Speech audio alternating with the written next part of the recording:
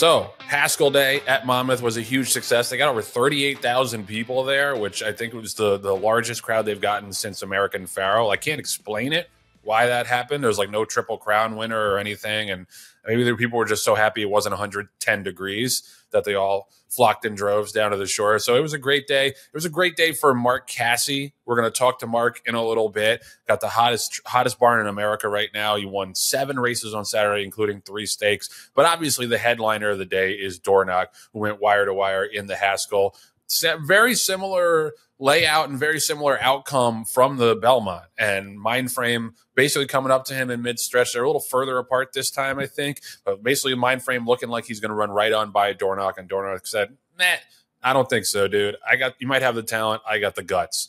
And that to me is the biggest takeaway from this Triple Crown season is that we underestimated the hell out of Dornoch. Mm-hmm. And we said it when he won the Fountain of Youth over a couple of tomato cans only by a length and a half. Then he got drubbed in the bluegrass, didn't run well in the Derby. But Danny Gargan never lost faith in that horse along the way, kept putting him in big spots. And now he's rewarded him two times in a row, winning the Belmont and the Haskell. And he just has the the the uh, the moxie, I think, mm-hmm. to turn back horses, which is something you really need, especially in a three year old division that is pretty evenly matched right now. He's the leader, but the fact that he's now won a dogfight with arguably, you know, pound for pound more talented horse twice in a row, and Mindframe has kind of blown it twice in a row, I think is significant. And there's he's going to take some beating now, especially if he runs big in the Travers. Like it might be lights out for the three year olds.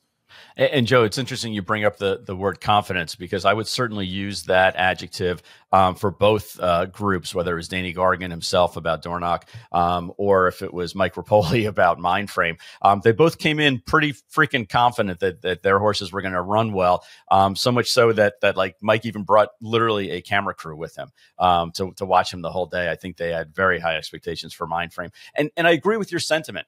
Mindframe is the better, more talented horse. Um, but there's a difference between talent and winning. And sometimes the difference comes down to, you know, post position, which certainly Dornoch, you know, having the one hole and basically staying on the rail the entire time made a huge difference where Mindframe had to go around some horses. Um, but also heart. And and as Joe is you you always saying you got to have heart. And and that certainly is what Dornoch has. He's got heart. He's got the moxie. He's got the gonads um, to be able to do things. And, and in watching Mindframe, who again I, I think is the more talented horse in, in my opinion.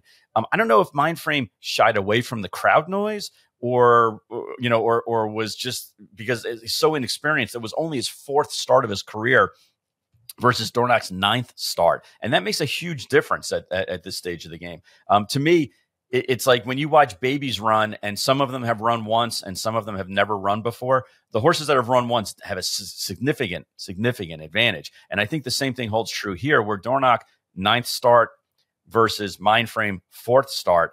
Um, it made a huge difference for them. I if Mindframe wasn't so royally bred and you know twice uh, finished second in in in separate grade ones I may, if I was the owner, I may say to the trainer, is this the kind of horse that either we need to put cotton in his ears or more drastic, maybe geld because he's not focused enough. Um, obviously, you wouldn't do the latter with with Mindframe at this point, um, but certainly, you know, from from a pound for pound talent, I give the edge to one horse. But from his record, you know, Dornoch has now won, uh, you know, two grade twos and two grade ones, and is looking like the prohibitive favorite for three year old colt of the year.